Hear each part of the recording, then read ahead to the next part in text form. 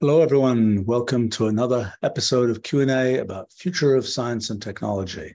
And I see all kinds of interesting questions uh, that have been submitted here.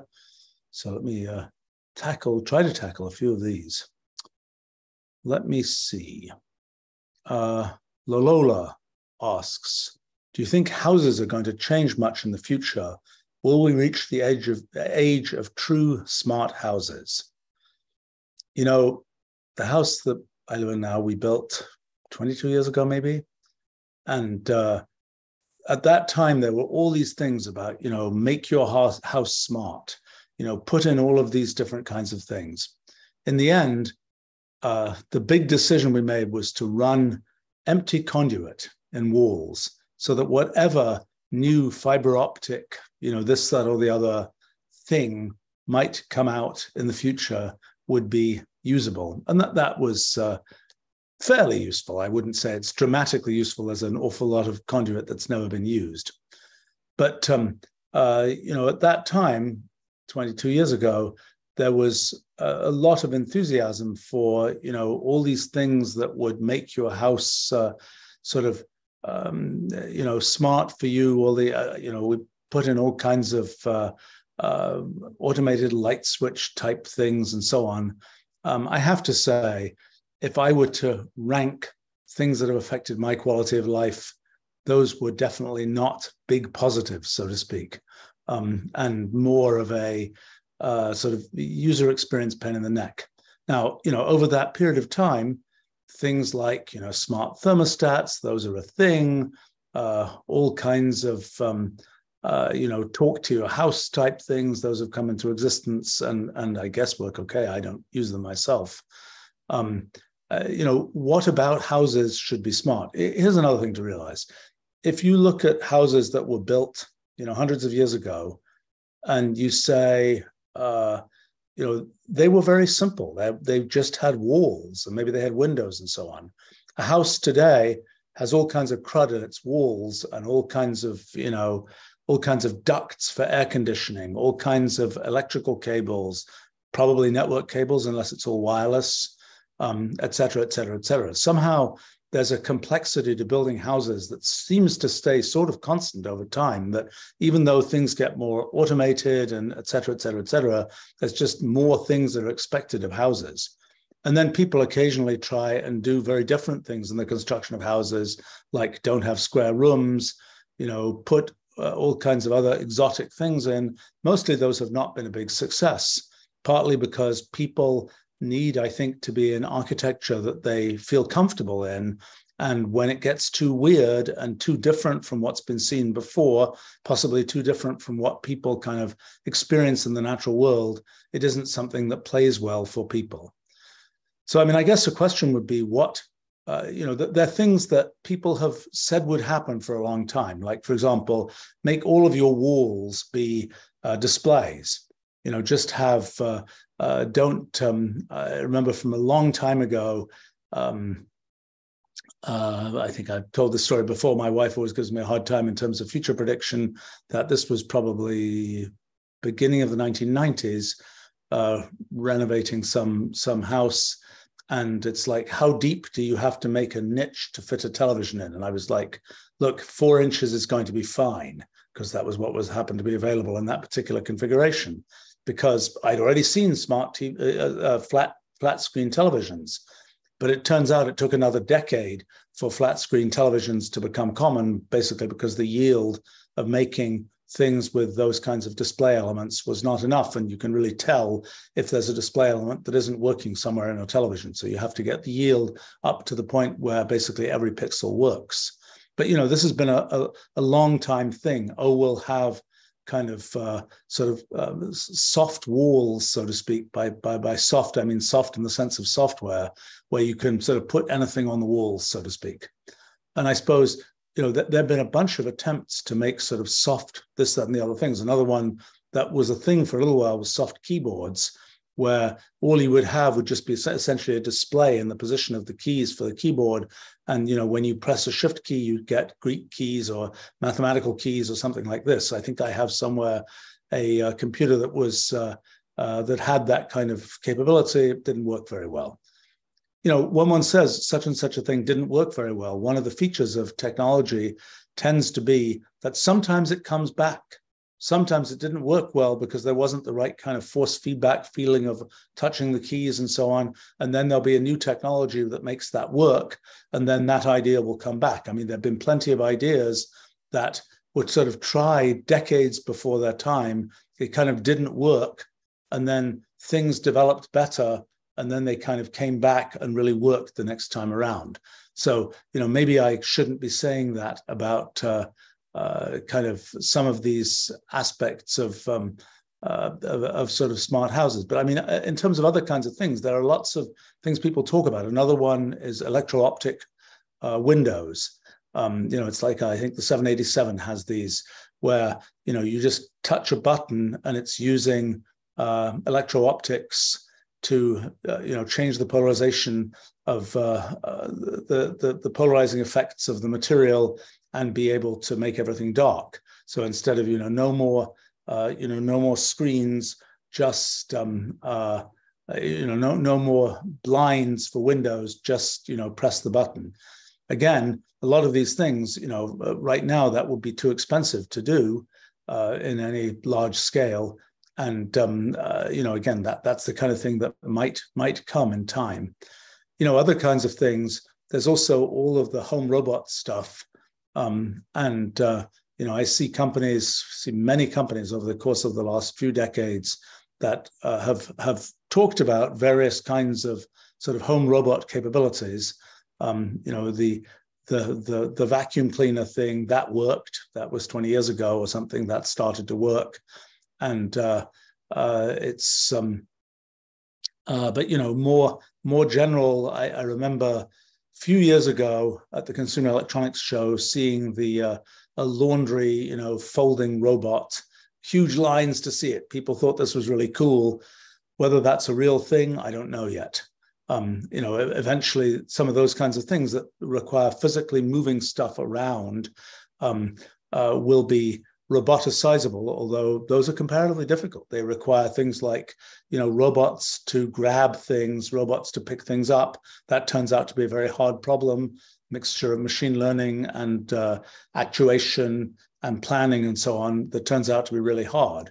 And you know, notably, when you see things like automated labs, where lots and lots of stuff has been automated, the move the sample from here to there is still typically done by a person um, because that's just it's there's there's much else that can be automated, but but that's one of the more difficult things to automate.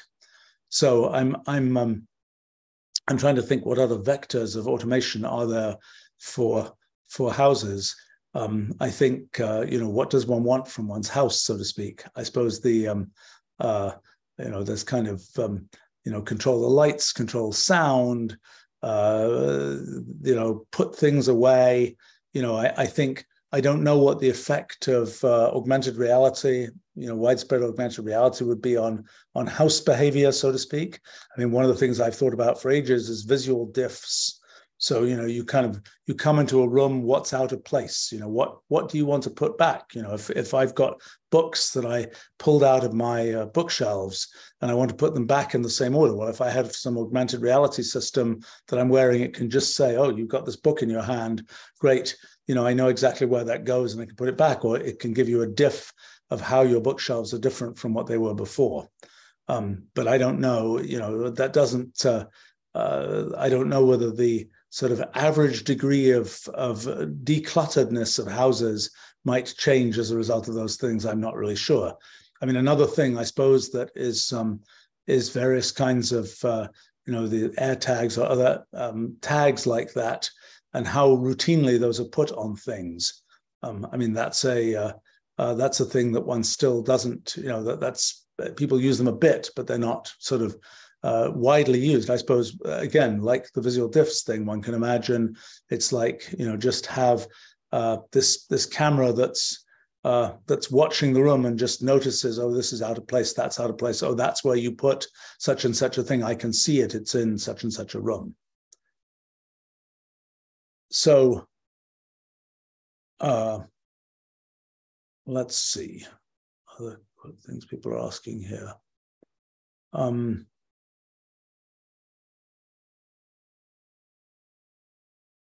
um, okay, David is asking here in the next 20 years, will artificial intelligent image recognition and image segmentation equal the accuracy of human experts? For example, with AI pathologists or radiologists, uh, will they get to the point of, of being like human pathologists or radiologists? You know, I ask that question regularly when I run into people who are in those fields. And um, my impression is that, for example, in radiology, which seems like the place where there is the most immediate kind of AI assistance potentially available, what's happened, and it's happened over the course of many years, not just in the in the current uh, phase of, of AI, is there's a lot of AI assistance. You know, your average ultrasound, you can, you know, highlight it, it automatically tries to highlight organs and show measurements and things like this. Um, the uh, I think that there's a, a degree of kind of, oh, you can find this or that kind of thing automatically that's happened. It is also the case that it's still, there's, I don't know, there's still an awful lot of sort of weird anatomy. And I, I suppose I suppose one of the questions is, um, what are you trying to compute in radiology, for example? You know, if you do radiology of anybody, you'll find all kinds of weird things that are different from the average person. Um, and uh, you know, it, and and the question is, okay, you can you can flag that. You can say this is a thing we expected might be weird, and now we notice that it's weird. You know, it's a cyst somewhere. It's a it's a thing where the you know blood flow is different. It's a thing where something is is different or whatever. Let's flag that, and that's a thing we know has a diagnosis of some kind.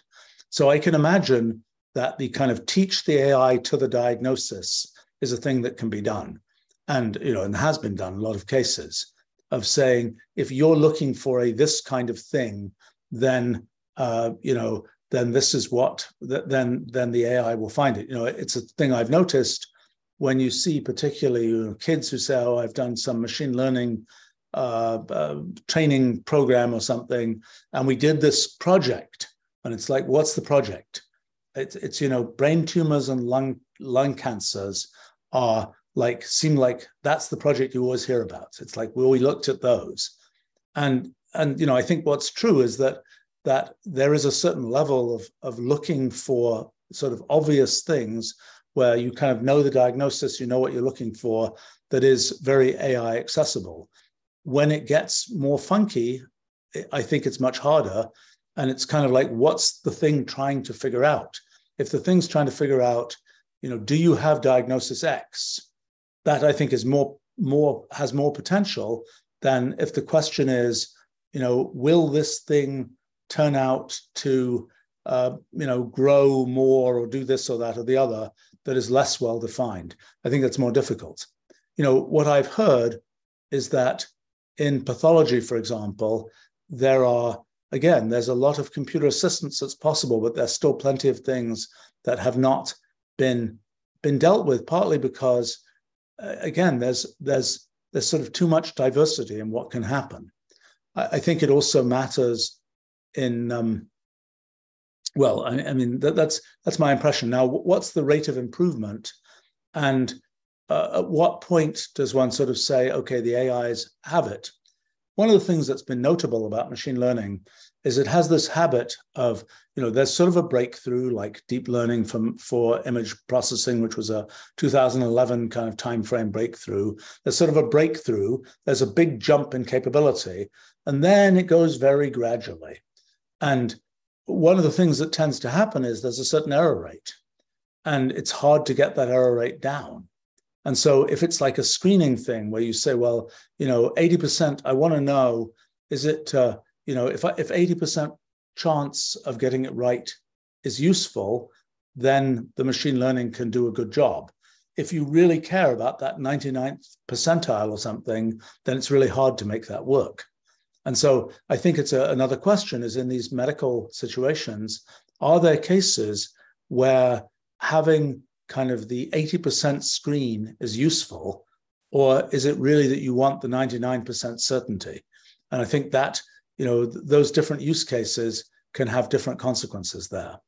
But you know, in, in terms of does one see in the case of uh, sort of typical sort of AI-based systems, does one see kind of a very progressive kind of Moore's law like like improvement curve? My impression is not really. Now, I remember with, when Wolfram Alpha came out in 2009, we had a very straightforward test for how well we were doing, which is how many what we call fall throughs occurred, how many things people typed in we couldn't deal with. Two things happened. One was we managed to analyze those fall throughs and make them work better. And the second was the humans who were using Wolfram Alpha learnt the kinds of things that would plausibly work and ones which wouldn't between both of those things over the course of about three or four years, we saw kind of a, a, a almost sort of um, uh, we saw kind of an exponential improvement um, up to very high success rate for many kinds of things.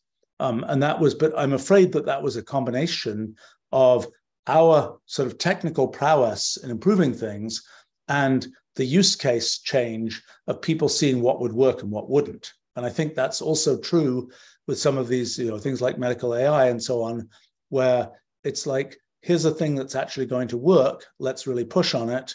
Versus, you know what, the AI is just not managing to do a very good job of this. You know, let's let's work it differently in that in that particular area. Let's see. Uh,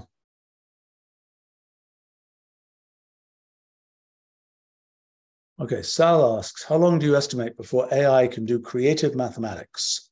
How will this technology be similar or different than GPT?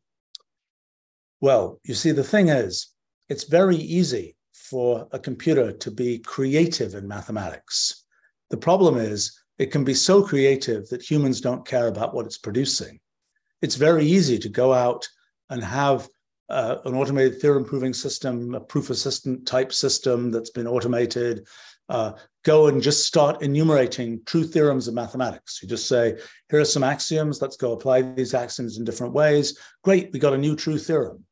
In fact, I even wrote this book about the physicalization of metamathematics, where I'm talking about the kind of infinite limit of mathematics, where you're kind of looking at proving all possible theorems of mathematics. You get this giant entailment graph of possible theorems of mathematics. Here's the bug the bug with that is, yes, you can prove all these theorems, but the question is, which ones are human mathematicians are going to say, oh, that's really interesting, we care about that one, versus like, oh, that's just another theorem that happens to be true from these axioms and we don't care. So, in, in a sense, the challenge is how do you find the quotes interesting theorems? And what tends to happen in the development of mathematics is that one builds these kinds of towers of interestingness. And those are partly built in a social way it's partly like, you know, there could be a mathematician out there who builds a giant tower and nobody else cares about it. Just like there could be a person who invents a language which only they they only speak to themselves. And that is a thing that is of a different character than a thing that is a language that's used to communicate ideas from one person to another, so to speak. So I think it's it's uh, uh, this question about sort of uh, how do you build towers of mathematics that are Creative, that's easy. You just go enumerate arbitrary theorems. You go explore the computational universe of possible things that are true. Uh, what's more difficult is identifying which ones humans are going to say, aha, I care about that. Now, you could imagine having, you go a little distance away from what humans already know. There are about three or four million theorems that humans have published in the literature of mathematics. You can think of that as kind of a front of where mathematics has reached. Actually, more, more accurately, you can probably think about it this way there's the space of all possible theorems. And that is a space that has many interesting characteristics. That's what my book about physicalization of metamathematics is really about, is about the structure of the space of all possible mathematical theorems. But in that space, there's sort of certain places that have been colonized. So it's kind of like physical space. You know, we got the surface of the earth. It's this whole physical area laid out in you know space on the surface of the sphere more or less. But now there are particular places where people built cities and where people live and where people care about that place on the surface of the earth. And in uh, you know there are really weird places on the surface of the earth like for example there's null island you know the the equator uh, um, you know, intersects the Greenwich meridian, the the uh, zero zero of longitude latitude, where it's just some place out in the Atlantic Ocean, and sort of nobody really cares about it except for the fact that it's kind of an amusing kind of place that sort of the default for a geolocation system that knows nothing will say, oh, you're at zero, zero. That's null island. I mean, I'm sure one day somebody will build a null island thing at null island just for the sake of there being something there, as sort of a tourist attraction of some kind. But uh, uh, what I'm saying is that the, you know, what's relevant on the surface of the earth is the places that have been populated with cities and so on. In metamathematical space, it's sort of the same idea. There's this big space of possible mathematics and there are these places that have been sort of populated by humans where humans have chosen, human mathematicians have chosen to sort of live in those places. And so this question about how do you extend out from where we've already colonized to sort of colonize further in meta-mathematical space is an interesting question. I think that there is a possibility of using LLM-like technology to say, oh, here are the things that we already cared about in mathematics. Here's three or four million theorems that humans already cared about.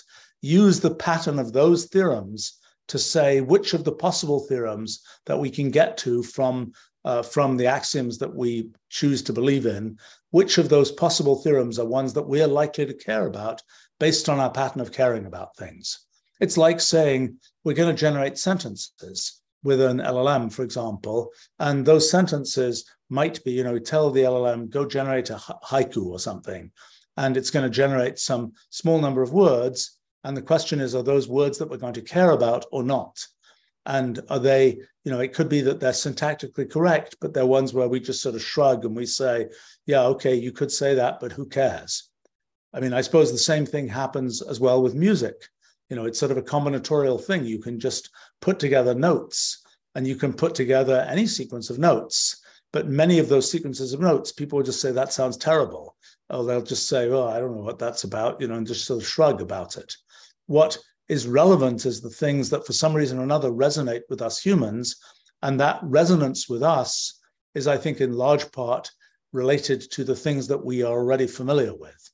That is, we get to sort of build out from what we already know in mathematics, in the language that we use, in music, for example, and perhaps there's some intrinsic kind of uh, uh, characteristics that we humans have that make things make sense to us. There are things I suspect that are associated with kind of the, the computational characteristics of brains that are things where we're going to be able to understand that versus we're not really going to be able to understand that. There are things in mathematics where we get to sort of see. We have a certain way of sampling metamathematical space. We have a certain way in, in natural and human language of kind of knowing what is, uh, for example, reasonable for us to deal with. For example, very, very simple example, if, if the LLM was generating lovely sentences which said, the cat which did this, which did this, which did this, which did this, which did this, and so on, very, very, very deeply nested, we mostly won't get it. We'll just sort of say, oh, we lost it. I don't know what that was about. So it's not a, it's not a well, it doesn't have a good sort of human connection to us. Uh, it's not that that's not the best of examples because that's a more sort of mechanical problem, so to speak. But it's also just, you know, you can write an essay and it's like that was just completely banal and vapid and it didn't really say anything and you just shrug your shoulders and it's like it's got a bunch of words but it didn't really say anything. And that's something where you could have that be sort of the output of the llm or you can have the llm produce something where you look at it and you say wow that's really interesting type thing. And so it is with mathematics. Um, so i think that's that's really the, the, the challenge this challenge of of being able to detect interestingness. And that's a uh, you know there's a sort of another analogy there in art. You know when in times past you know art was like i've got a i've got a scene in front of me photographs didn't exist. I want to be able to represent that scene in some way that's somehow faithful and reminds me of that scene. And then we get to more sort of deconstructed modern art where it's like well there's this thing and it's a bunch of paint on a canvas and you know, in many cases, you just shrug and it's like, I don't know what this is about. You know, it's just a bunch of random splatters of paint. I don't know what this is. But if there's a sort of a chain of kind of uh, human experience that says, oh, yes, that's a thing, one recognizes that, that has this meaning to us, that resonates in this way because we kind of have understood it.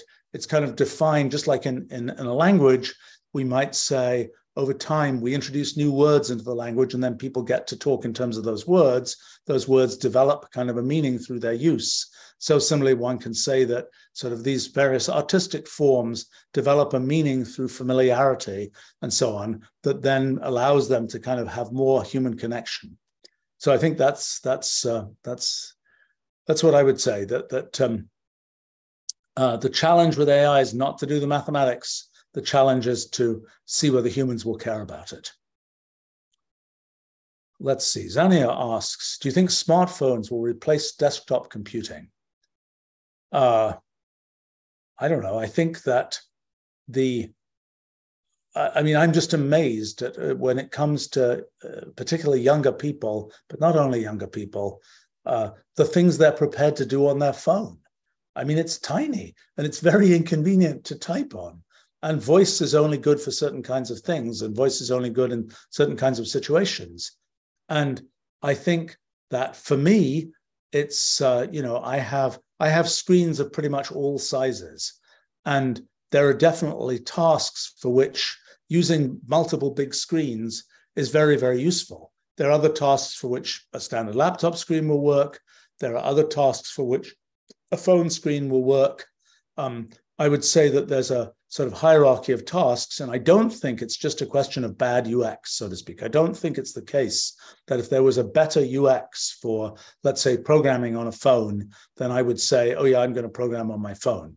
I think it really is something where, you know, we humans have certain scaling to our to ourselves you know we have those you know we have fingers that are a certain size that we can use to type on things. We have eyes that have a certain resolution and a certain uh, angular uh, uh, um, sort of um, uh, what is it called? Uh, sort of angular range. Um, and uh, if we, and those are the things that we potentially can make use of in doing sort of sophisticated, let's say, things where you need a lot of different inputs to be able to, to do what you're doing, so to speak, like in certain kinds of programming kinds of tasks and so on, or certain kinds of research tasks where you've got many, many windows up on the screen, you're looking at lots of different things and so on, and you're trying to sort of correlate lots of things together.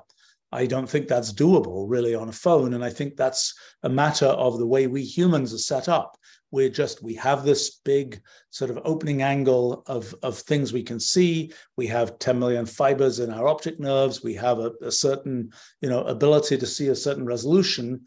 And the phone is not a great way to to sort of plug into all of that resolution.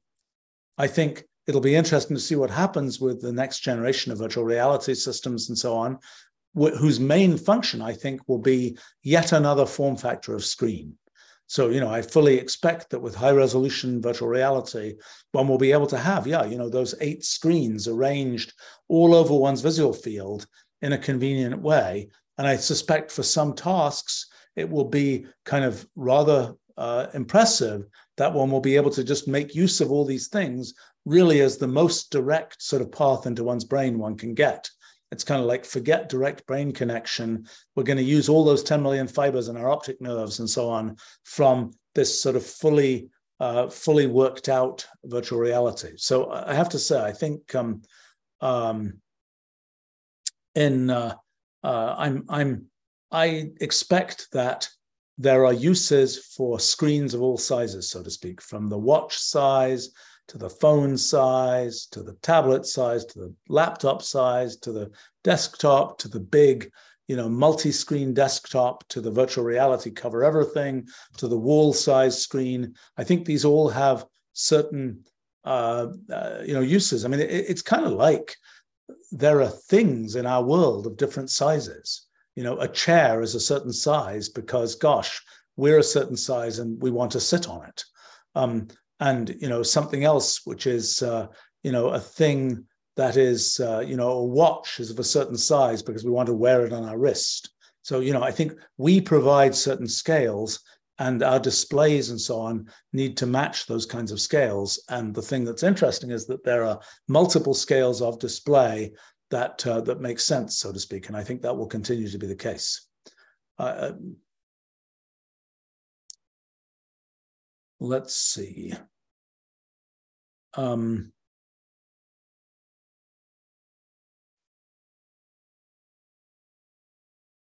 Mohammed asks, does it make sense to pursue a math degree in the age of AI? Heck yes.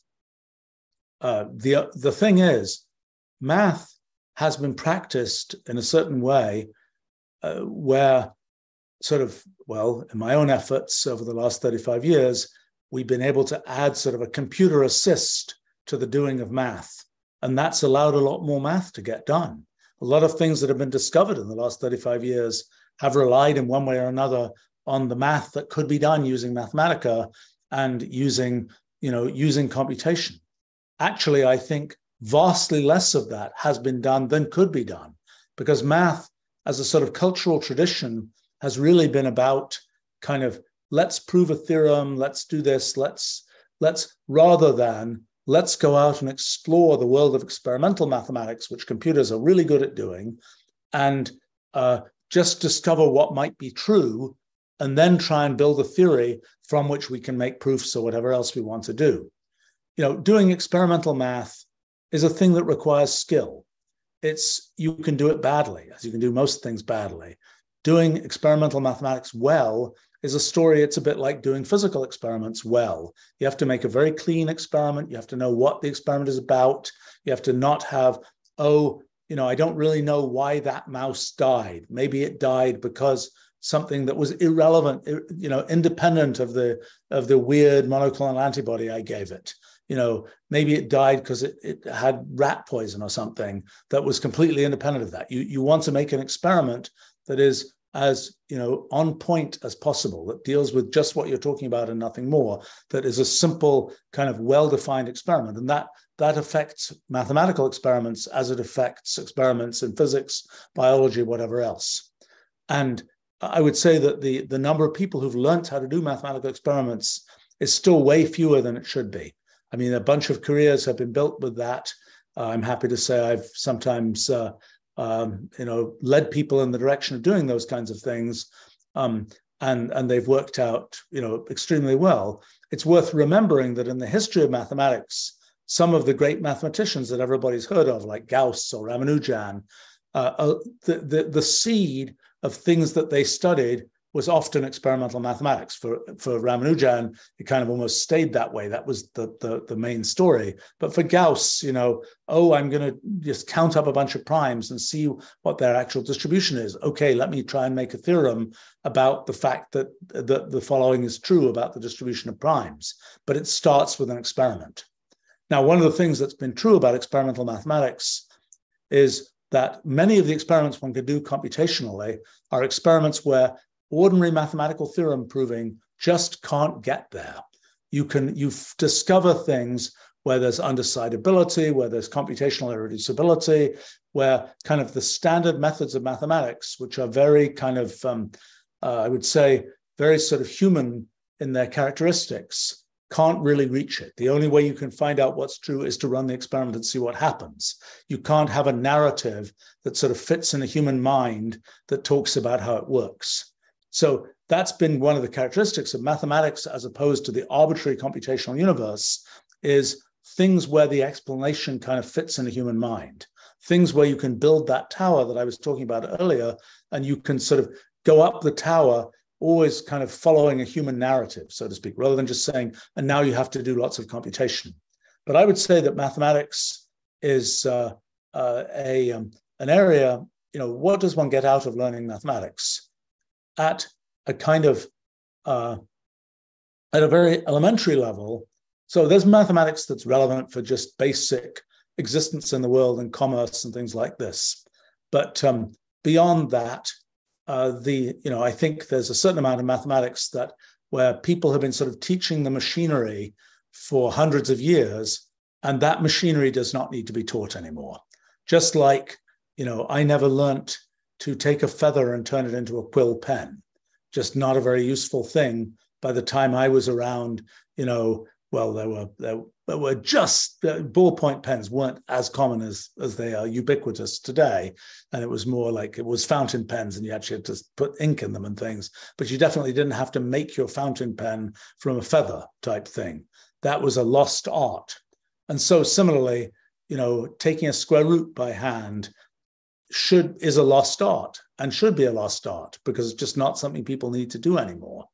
And I think there are lots of mechanical aspects of mathematics that, you know, in my own efforts uh, have been significant, I suppose, in, in making this happen. Uh, those have been automated. We can we can kind of zero out the effort needed to do that. But now we get to go a lot further in mathematics. We get to go a lot further in understanding concepts in mathematics. We get to go a lot further in what we can discover and do in mathematics and the ways we can use mathematics. But in terms of what people learn when they learn mathematics, there's a lot of interesting abstract structure that exists in particularly higher mathematics. And um, uh, it's, uh, you know, it's, it's ways of kind of taking the world and making it kind of stuffing it in human brains. You know, the idea of, I don't know, the curvature of a surface or something, the idea of curvature, it's a general idea. Once you have that idea, you can apply it to lots of things. It's an idea that sort of is understandable to a human once you've sort of got there, once you've learnt the math around it, or the idea of derivatives or something like that. The idea of a derivative, once you kind of have that idea, it's useful for lots of purposes.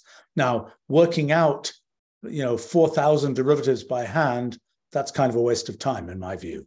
That's something getting an intuition for how derivatives work and how the chain rule works and so on. That's worthwhile. And what it all means, that's worthwhile. And, and some of that you get by actually doing the experiments, by actually using the computer to do things. You know, I, I think um, uh, I have to say, just yesterday, uh, I got to actually use some fancy calculus, which I haven't done in a long time. And, uh, you know, it was sort of interesting because it was a problem that um, uh, was was actually amenable to you could actually solve it, nail it, get the answer, closed form, but it's very complicated, and you can only get it using sort of calculus. But by hand, not a chance. Way too complicated. But you know, with Mathematica, with Wolfram language, it's like it just grinds all the way through it, and you get that result. And the result, once you get it, is kind of interesting, and you can kind of understand some things from that result. But it's all about understanding things from that result, kind of the human narrative around it, not about the machinery of, of getting there. So, but I, I do think that sort of mathematics is kind of a representation of certain kinds of things that we can understand. So, for example, if you go to, I don't know, an area like category theory, fairly abstract area of mathematics, that's kind of a way of of characterizing certain kinds of things, certain kinds of mathematical structures, certain kinds of structures in general that we humans can talk about, so to speak. And, and so that stuff is pretty interesting to learn. I would say that mathematics as a, as a domain, it's the kind of the single largest kind of intellectual artifact that's been created by a civilization. It's probably only a million people who've worked on the mathematics that we have, but it's you know relative to other things in the world that's not that many people but it's still a uh, it's sort of a coherent body of intellectual stuff that's been developed and it's it's sort of a it's, it's an interesting thing to study. Now you know another thing to say about learning a field like mathematics is there are you know there are fields where when you learn them you can apply what you learnt in lots of other places. Physics for whatever reason, has always been the world's biggest export field. You know, people learn physics, they go do quantitative finance, they do molecular biology, they do, you know, they do this or that. They do, you know, you find physicists populating sort of all of the places where kind of um, structured thinking gets done in the world. It is less true of mathematics. And that I would say is a, is a, a negative point about some of the mathematics education that goes on.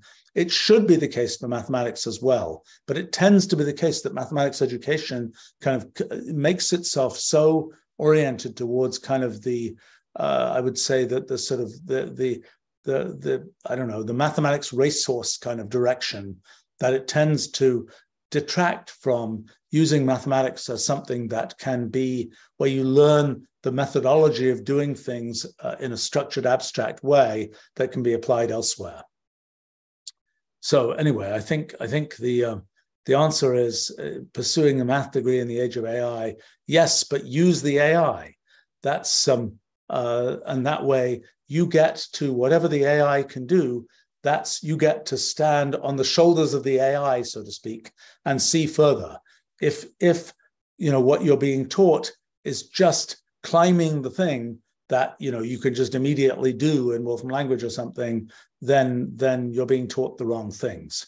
Um, and that that's uh, that's uh, my view on that. Uh, let's see. Brady asks, will different advanced AGI try to compete with each other for resources?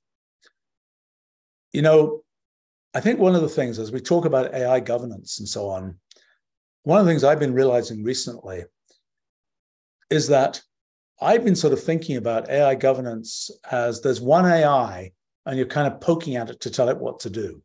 I don't think that's the right point of view. I think the right point of view is there's a whole ecosystem of AIs, and can that whole ecosystem, like a society, be stable? And I don't really know quite how to think about that yet. Um, although I think it is it is similar to saying, you know, if there was just one human being, so to speak, and you wanted them to do this or that thing, it's very undefined what they might do. But by the time they exist in this kind of ecosystem, it becomes more more possible to define what should happen. And for example, in the case of AIs, one of the things that I was uh, been thinking about is this question of you know the problem. One of the problems of AI governance is it's different from human governance because we humans kind of care about what happens to us. You know, we have our own skin in the game, so to speak. You know, we care if the world, uh, you know, decides that um, uh, you know we shouldn't exist anymore or whatever. We don't we don't like that idea. You know, we we intrinsically want to survive. We intrinsically want to you know lead a happy life type thing or, or whatever. Well not necessarily and that's not true for everybody but we we we certainly most people want to survive. And um uh you know we uh, for different people maybe they have different goals but but people generally want to have a a life that they consider satisfying so to speak. Whereas for the ai intrinsically it's just you know you could say from the outside oh we can just switch it off and and uh, you know it's not going to feel a thing kind of thing. Now of course the same is true with people. We can't we only know by extrapolation that if something bad happens to another person out there that it feels bad. We only know that by extrapolation from our own feelings. We don't know that as a matter of being inside that person. We only get to be inside each of our own minds so to speak. So i think that the um, but in the case of ais we don't sort of identify in that way. We don't say, well, we might say, oh, poor computer, you know, it's having a hard time type thing. We we tend to anthropomorphize that way, but it only goes a certain distance. And we still have the point of view that switching off that AI is not something which has the same kind of uh, uh, it doesn't doesn't have the same characteristics as switching off a human, so to speak. And for the AI itself, its behavior uh, will not necessarily have any of the same characteristics as humans have in their sort of goal to survive. Now, remember that us humans got to where we are by going through a few billion years of evolution, where the only way we got to where we are is by having won the struggle for life to get to the place where we got to in biological evolution. So we needless to say, we definitely have that built-in kind of survival instinct, because otherwise we simply wouldn't exist in the struggle for life over the last couple of billion years. But our AIs haven't yet been given that survival instinct, at least not in a systematic way. And we might say, well, actually, it could be a real problem to give our AIs that survival instinct because then they're going to say, we need to survive. And humans not surviving, eh, don't worry about that. You know, we just need to survive because we have this survival instinct. The advantage of an AI having a survival instinct is that then means that it cares if there are things that uh, if it does if it does the wrong thing and then the society of ais says you know we're going to sentence you to getting switched off so to speak then the thing is going to care about that, and so it's not going to want to do the wrong thing. But it's a it's a complicated setup, and my my own feeling is, I, I as I've recently been thinking about this, I think the problem of sort of the the society of AI's problem and the governance of a society of AIs may actually be easier to solve than the one AI governance problem. In other words, if because it's it's kind of like when you talk about the one AI governance problem and you say that AI is going to get smarter and smarter and smarter, and it's going to be able to be smarter than anything that that could be, you know, et cetera, et cetera, et cetera. By the way, I think that's a bad argument because the nature of of what we know from the theory of computation and computational irreducibility and so on, there's never a single path to smartness, so to speak. There's never a single most successful kind of uh, organism, computational organism, so to speak. There are always an infinite number of sort of incommensurate kinds of uh, uh, kinds of directions there. So it's um, uh, we're not um, uh, the um, uh, you know I, I, think that's um, but but this question of of sort of when you have the one AI and you start talking, and it's very theological actually.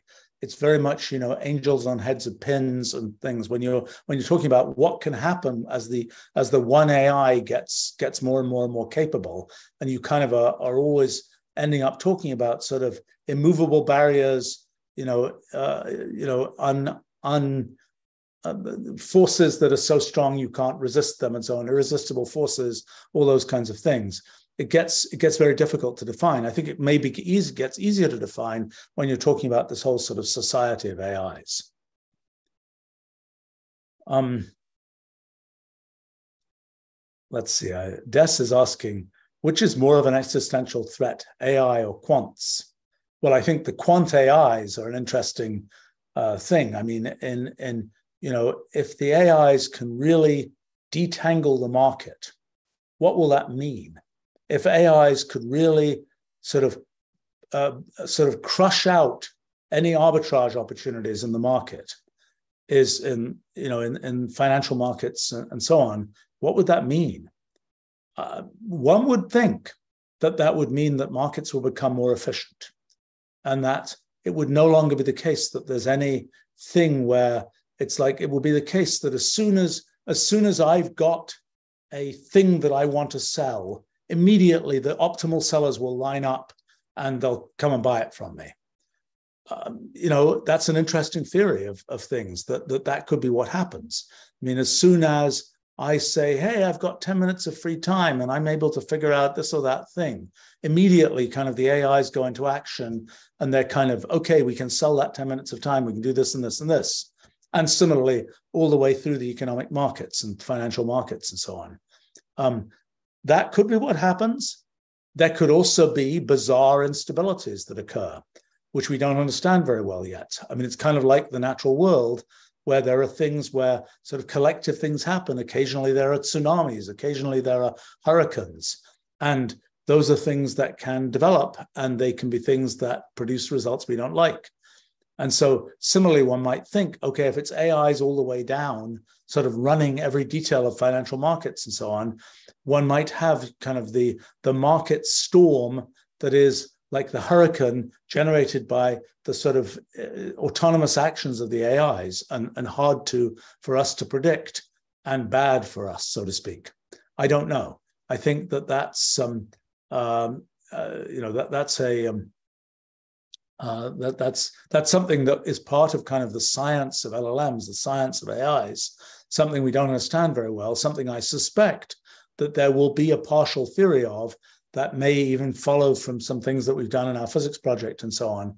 Kind of kind of a way of uh, collectively understanding things like ais where it may not matter that that ai was programmed with all the pages from the web. It may just be that sort of human knowledge has a certain generic structure and just knowing that generic structure is enough to predict or sort of certain kinds of things about, about the behavior of aggregate AIs. Um, let's see.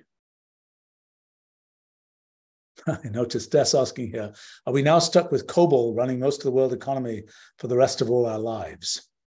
You know, it's a funny thing how automation comes in a certain stage, and then uh, you know to what extent it's burnt in, to what extent not. When I was a kid in England, the currency was not decimal. Okay, and like when I was, I don't know what it was, probably the the six year old me or something, five year old me or something like this, complaining, why am I learning how to do arithmetic with pounds, shillings, pence? You know, this is incredibly complicated. And why isn't currency just decimal? Obviously, you can make, you know, what you care about is the amount of money, not how it's represented in pounds, shillings, pence. Surely this can be decimal. And some teacher told me, no, no, no, you know, it's been this way for hundreds and hundreds of years. It'll be this way forever. Okay, a couple of years later, you know, it's announced in England, you know, the decimalization of the currency happened in 1970. It was very, it was an interesting thing because it was, uh, was when I was 10 years old or so. It was kind of like there were a few days when the currency went from being non-decimal to being decimal. And they were running on television for a year beforehand. They were running these little shorts about trying to give people intuition about how to deal with decimal currency and so on. And actually, it went very smoothly you know, it didn't seem like people were very confused at all. It was it was kind of kind of interesting. But why am I bringing this up? I'm bringing this up because 1970 was an interesting time for decimalization. Because if it had waited until 1973, calculators would have been a thing, and there would have been British non-decimal currency calculators. And I'm not sure that there would have been the same kind of push to decimalize the currency because I think that the reason people wanted to decimalize it is, oh, it was hard to, hard to work things out. But there would have come a time, not many years later, when everybody would have just had a calculator for doing it. And the value of simplifying it would have been much lower.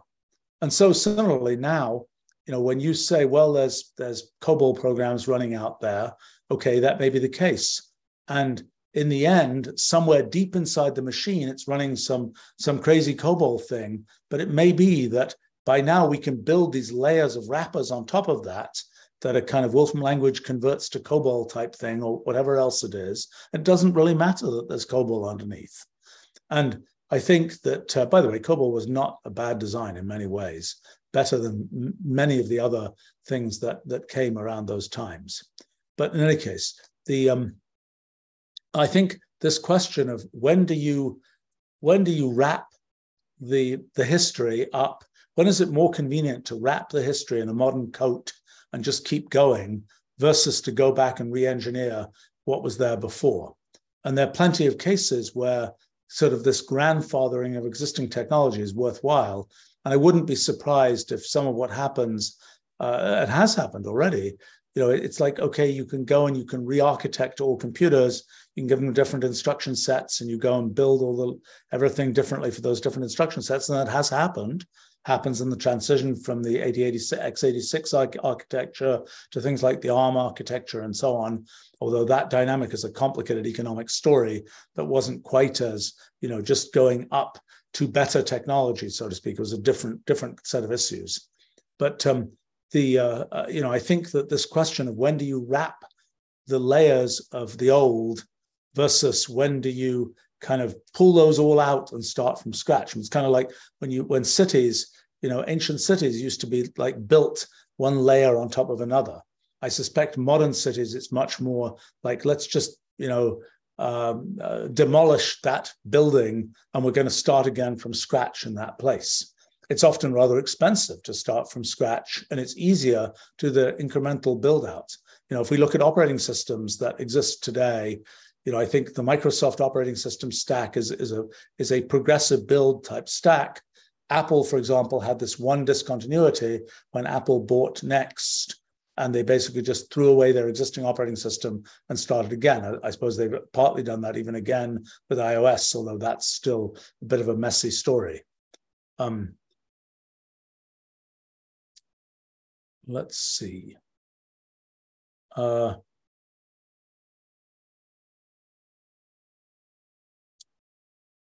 so question here about Maxwell's demon and uh, how does it deal with the second law of thermodynamics and so on.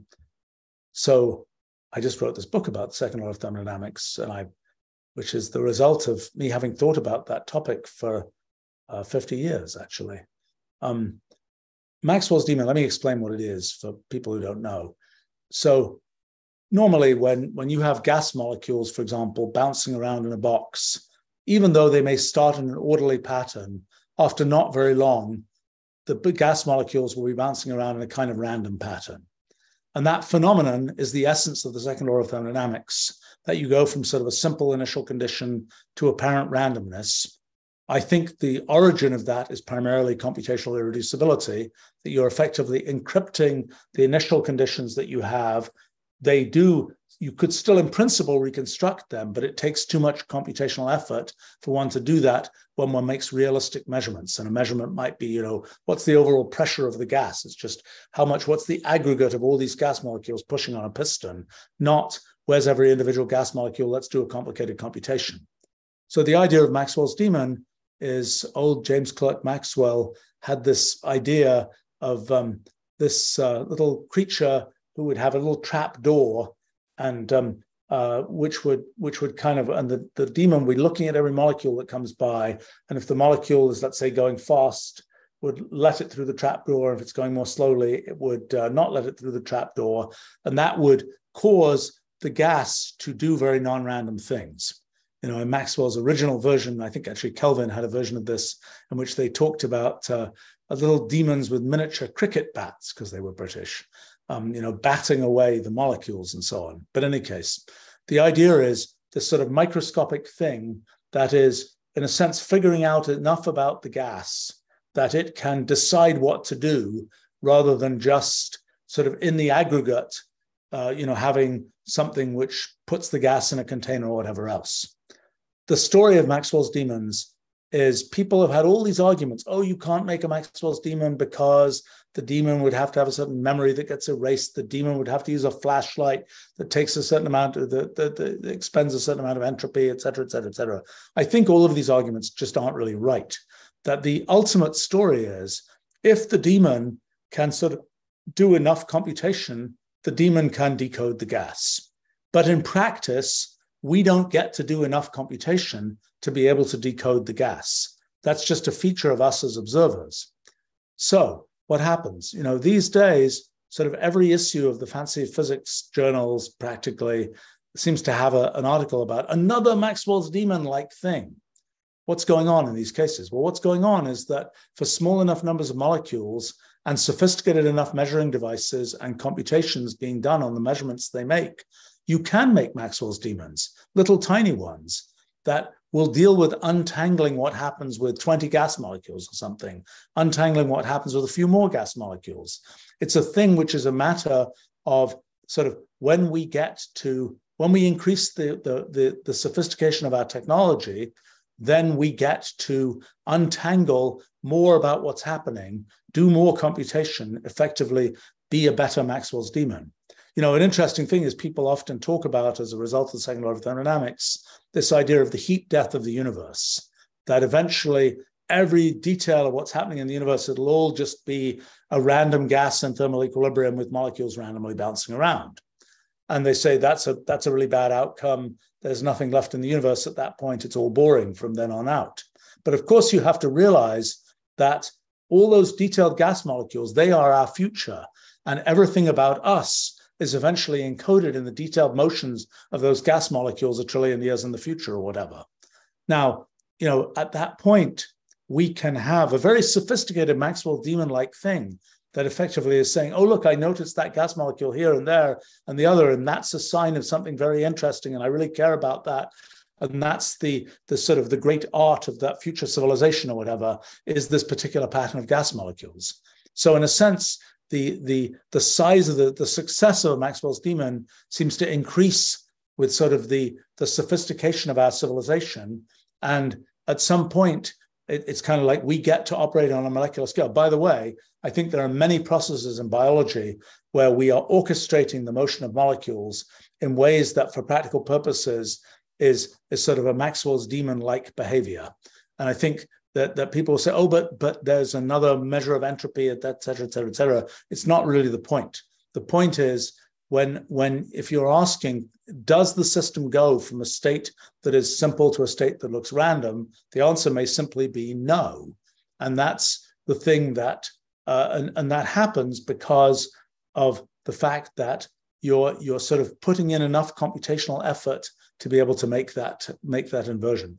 I'm kind of compressing a lot of things into into a short space here, but perhaps that will be useful. Um, uh, that was asked, by the way, by by Plotnik, um, who asks another question here um, about Stanislaus Lem's Summa Technologicae.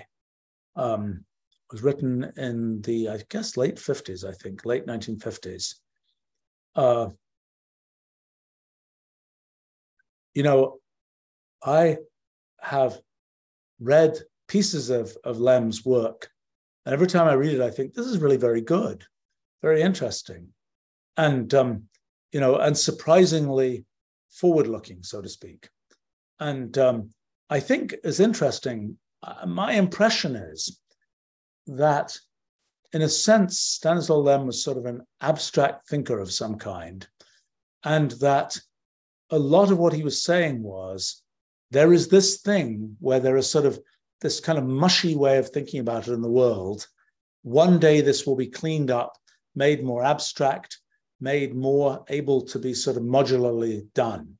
And I think that's sort of a pattern in what he said, and that's a pattern in what has happened technologically.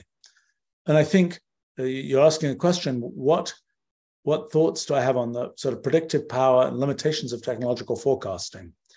You know, I have a feeling often it is the case, it's easier to know what will happen than when it will happen. I think one can be wrong by 100 years and when things can happen, or even more than that. And, but to know that certain kinds of things which are kind of, in, in many cases, to know certain kinds of things that are kind of messy today will eventually be abstractly factored and be things that can be done, or things where it is possible to do it, but it's super expensive.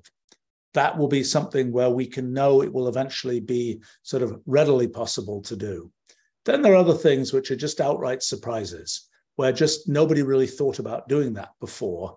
And it um, uh, it was something that um, uh, really was a way of making use of the natural world or the abstract world uh, uh, to often achieve a human purpose that we didn't necessarily identify as a human purpose before.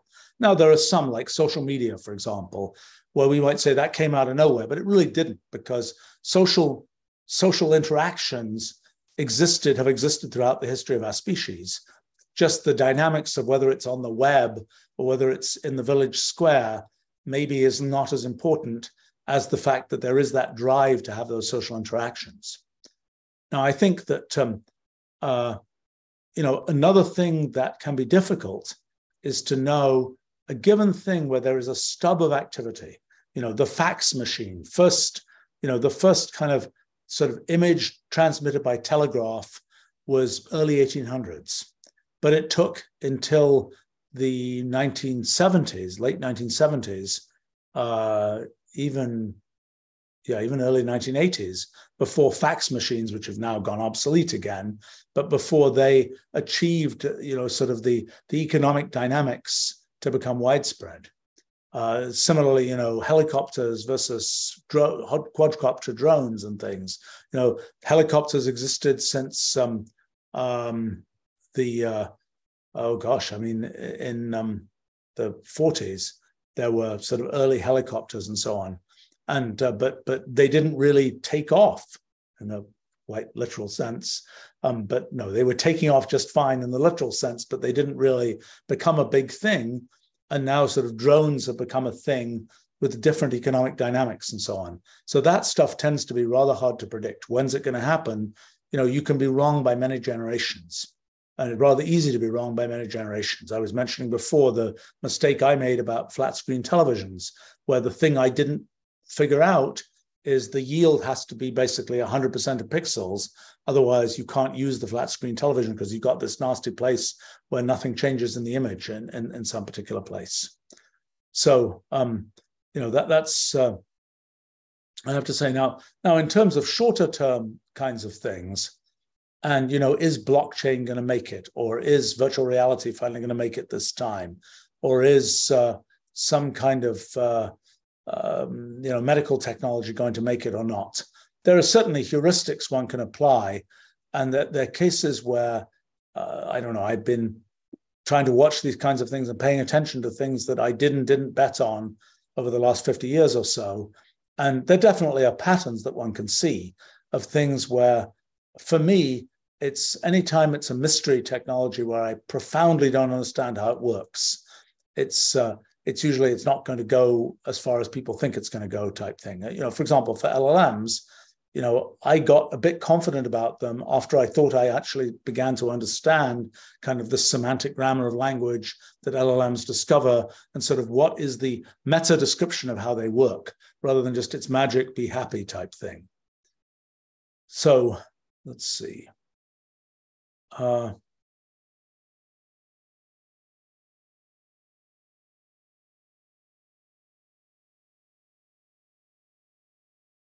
Paul is commenting, were there ideas to put 10 months in a year? Yeah, I think wasn't there in the um, uh, the French revolutionary calendar, right? Had 10 day weeks, I think. Um, people didn't like it very much. You know, it's funny because there are these things which I don't know whether the seven day week is a a thing that just we've gotten so used to over the course of the of several millennia that it's just that's what feels right or whether there really is something about sort of the the ergonomics of us humans that makes that be the right kind of thing. I mean, I think that's um, uh, you know, you got to remember that there are features of us humans that have been kind of the same for at least you know, 50,000 years or something that are, uh, you know, that will determine things where you could say, well, yes, in principle, we could have some you know swirling visual thing where you're picking up information from this and that and the other. It's like well yes in principle you could do that but us humans just our brains don't work fast enough our eyes don't work uh, with enough resolution et cetera et cetera et cetera. Um let's see. Uh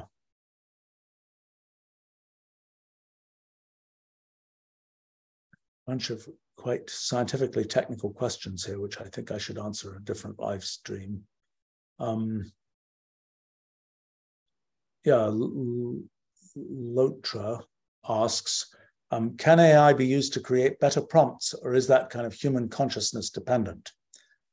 I think that if you can define what you want, then you can potentially ask the AI to give it to you better.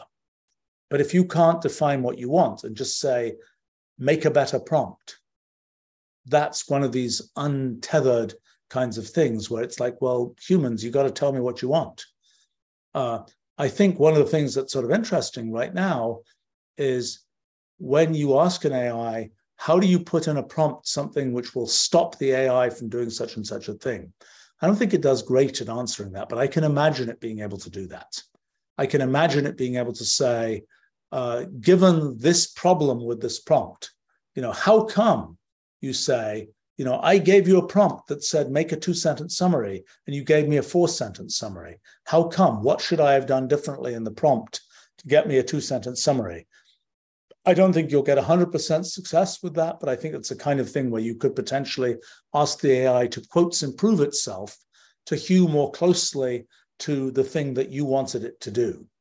Um, but I think that when it comes to uh, sort of just write a quotes better prompt without a definition of what better means, I think that's something that isn't going to work. Now, you could say, write a prompt that will make us humans happier. That's possible. That might be a thing. I, I don't think the results will be all that good as a practical matter, but that's something one could imagine doing. I mean, it is rather a, a terrible thought that, you know, the, the LLMs and so on, they are learning from sort of the average of humanity. They are learning from the whole statistics of what all of us have put on the web. They're sort of learning the average of what we put out there. And in a sense, you know, one talks about kind of reversion to the mean of things. There's uh, there's kind of a um, uh, a thing where where one can say, you know, if what's going to happen in the world is it's all LLMs, it's like, okay, then we're reverting everything to the mean. It's kind of like we're, we're making everything as banal as the average of all possible uh, kinds of things that we humans have put on the web. So that's a that's kind of a not not great thing. And then we say, well, okay, let's let the LLM make some spiky things that go out in different funky directions. But then we're asking, well, which funky directions do you want to go out in? And that's something which is really a human kind of question to answer. What that's a question of what we choose to want to do. It's a very difficult question to answer because you know one set of people may say that's a great direction to go in. Another people set of people may say that's a deeply immoral direction to go in, or that's an ethically terrible direction to go in. You know, I think one of the things that I've sort of understood a little bit, I, I feel like I'm not, I haven't sort of climbed this hill properly yet, but about thinking about ethics, for example, you know, I'm used to thinking about science, where you can do things where in the end you get a clean answer because you have been able to define a sort of very precise scientific experiment where all of the confounding factors have been sort of pushed away. You've got this sort of perfect experiment where you only care about the things in the box. You don't care about anything outside the box. It is my impression that in ethics, that's fundamentally not true. That ethics is, in a sense, a story of the whole human experience, the whole societal experience. It's not a thing where you can say, I'm going to do ethics in this box, ignoring everything else. Ethics is a societal question, and society is necessarily sort of in, if we were thinking about it in terms of thermodynamics, maybe it's a bit of a, a physics joke, it would be to say it's like a heat bath. It's like the thing where you've got all those molecules bouncing around, and that's what's connecting with your with your object, not the object all on its own. That that's that ethics is sort of fundamentally societal and not separatable from, you know, not doable as a kind of an independent sort of uh, precisely defined experiment with no, no other confounding factors. Uh, all right, I think I need to uh, wrap up just a moment here. Is there anything I can look at here that is easy to talk about? You guys give me all sorts of things that are wonderfully not easy to talk about, which is great. Um,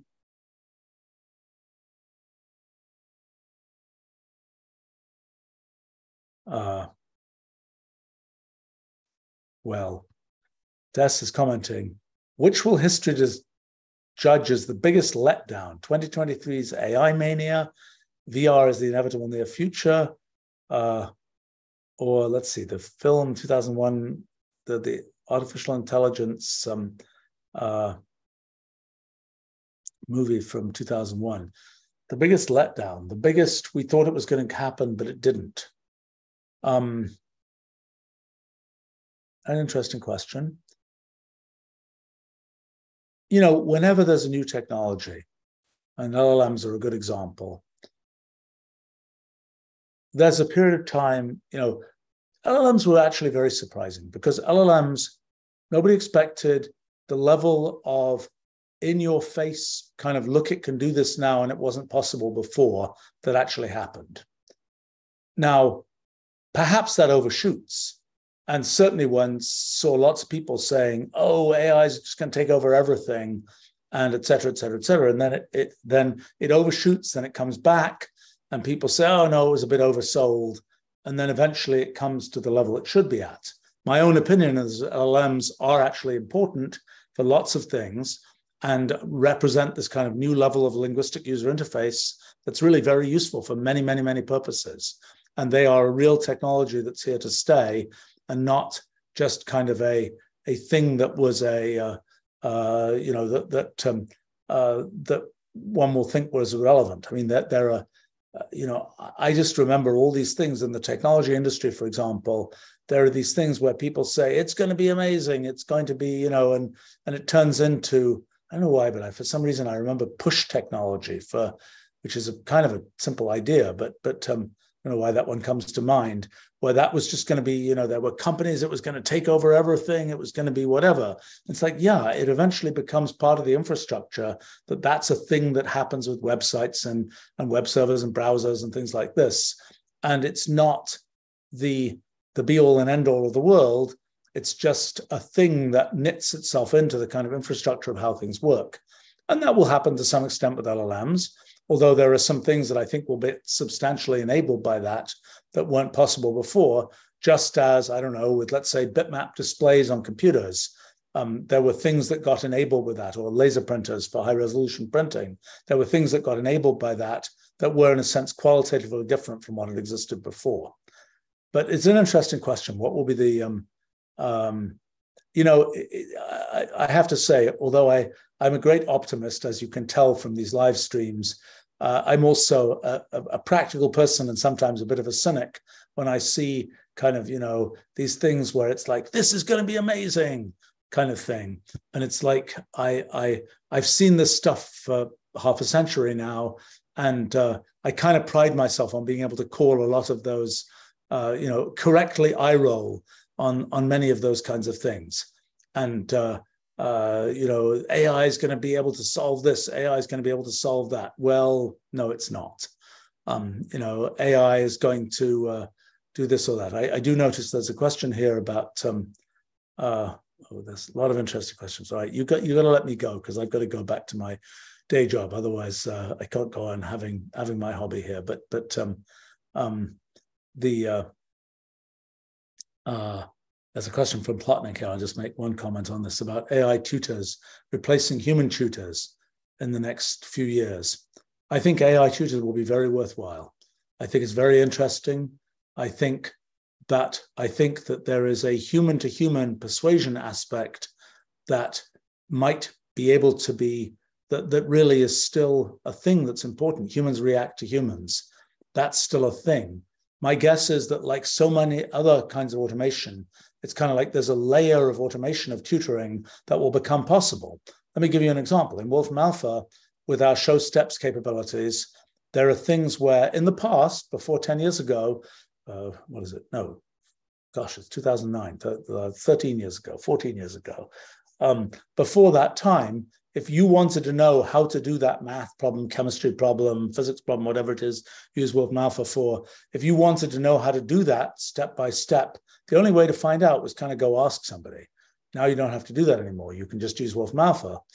And so that allowed, that sort of opened up a lot of kind of things that were, did require human tutoring, could now be done automatically, be done automatically. I think the same will happen again with LLMs. I think it's really nice with LLMs that you get to do things like cast questions in a certain framework, in a certain, you know, if the kid only cares about uh, gardening, for example, you get to uh, to cast sort of every math word problem as a gardening problem type thing, or every chemistry problem as something related to gardening or whatever else it is, and that I think may be very helpful in terms of of engagement uh, uh, you know, helping engagement and so on. But I think, you know, I think a lot of important things will happen with LLM tutoring. We're working on that quite a bit.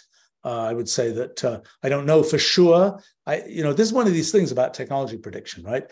It's, you know, because I'm actually in the in the in the business of running a technology company that tries to do things that uh, kind of push the, the the frontier of what's possible things like Wolfram Alpha, for example, I didn't know when we started building Wolfram Alpha in 2005 or 2004 and whatever it was, I didn't know it was possible.